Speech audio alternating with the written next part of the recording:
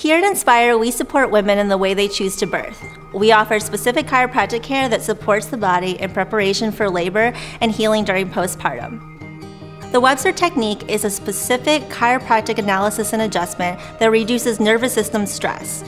This technique balances the pelvis and supporting soft tissues to optimize the mother's pelvic function in pregnancy and birth.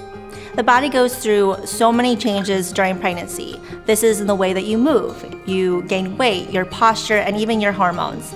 Then after birth, you're adjusting to new stressors like nursing, carrying a car seat, and exercising, which can all cause imbalances to the nervous system. With regular chiropractic care, your body can better adapt to these stressors. This may minimize symptoms like lower back pain, pubic pain, sciatica, and nausea, which are all common during pregnancy.